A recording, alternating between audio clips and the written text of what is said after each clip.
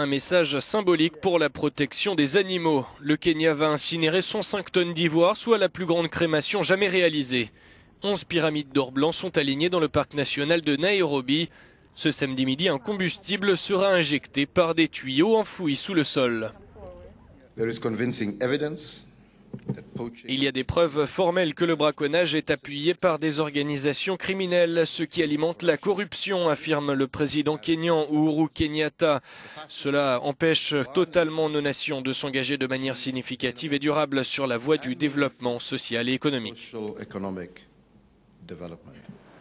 Uhuru Kenyatta a appelé cette semaine lors d'un sommet africain à interdire complètement le commerce de l'ivoire.